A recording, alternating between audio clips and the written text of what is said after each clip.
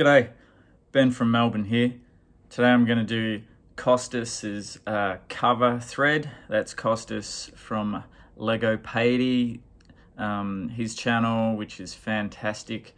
He's got such good taste in music and wide and varied everything from wild punk shit through to, um, yeah, minimal electronic, you name it, it's in there. He covers a lot of ground and a lot of stuff that you will never have heard of before. So uh, make sure you have a pen and paper when you check out the great Kostis, one of the cool guys in the VC. Um, yeah, passionate, um, nice head of hair too, by the way. So, how could I not want to jump on his um, idea, which is to show a few records? I think I'm showing 10, I can't remember how many I got out, but it's to show um, records which have cover songs, nothing new there, but things that might be a little bit unusual in some way. Anyway, so we'll have a crack. First up, I'm going to start with the Mighty Saints and their album I'm Stranded. Um, there's actually two covers on this. They do um, the Missing Link song Wild About You. Uh, that's not unusual at all. Little tip of the hat to the uh, garage punk forefathers of the 60s, um, who were an amazing band. Check them out too.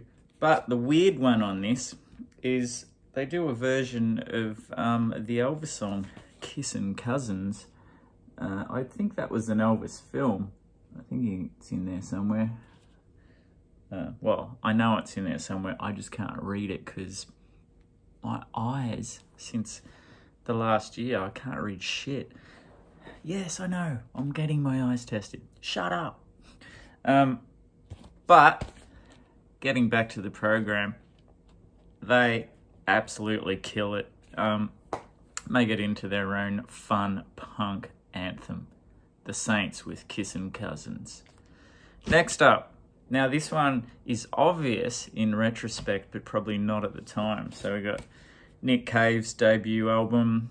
Um, at this point, bit of an unknown quantity of what he's going to do after the birthday party with their wild howling art punk. Um, yeah, and then um, and his ferocious kind of growl style of singing back at that time before he's uh, gone into quite a uh, beautiful croon that we know him for these days. Um, the big baritone, if you will. But on this, he opens the album with Leonard Cohen's Avalanche. Yeah, obvious now that the man's in love with Leonard Cohen. But back then, who would have thought the lead singer of the birthday party would have covered a Leonard Cohen song? It's insane. Next, local Melbourne band Black Cab. Um, these guys, great psychedelic uh, rock band at this point, which was their uh, first album, I think, and um, developed into really electronic, dark, synthy electronic, kind of influenced by Joy Division, New Order, that kind of thing. Um, really interesting band. They love a concept too, as you can see here. This is called Altamont Diary, which is about the infamous Stones concert. Um, and if you know Black Cab, after that description, if you don't know them, you might find it weird that they would do a cover of the Grateful Dead's New Speedway Boogie. Great version. And it's actually weirdly not that different from the original, but it works. Great record too. Next, The Beasts. That's right, The Low Road. Oh, stuff falling out. I'll just put that over there.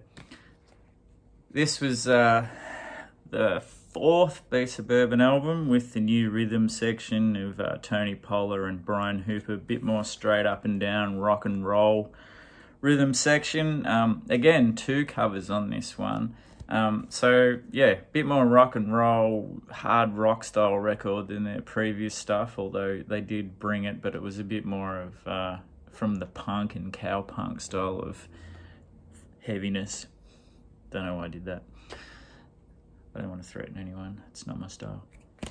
Anyway, so it's unusual that out of all the ACDC songs they chose to cover, they chose Ride On.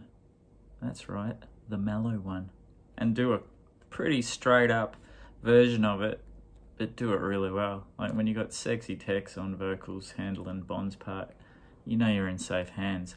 But the one, the infamous one, which they cover on this, is a song that was never even officially released. Has that been done before? A cover like that? This is the only one I can think of.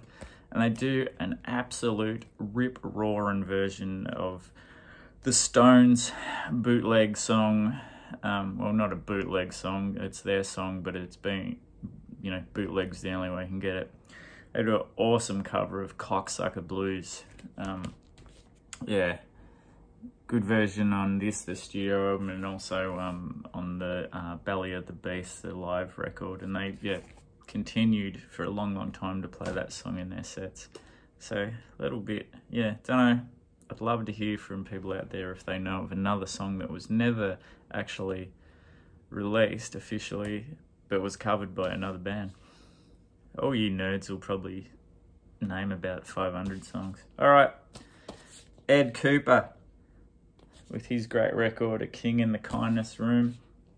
Um, keeping up the ACDC with Highway to Hell. Now, Highway to Hell is probably the song you would expect the Beast to do, but not Ed Kuepper, especially coming from the Saints, and especially not where he was at at this point. And it is, besides the melody, not a lot like Highway to Hell, but a great version. You can't kill a good song.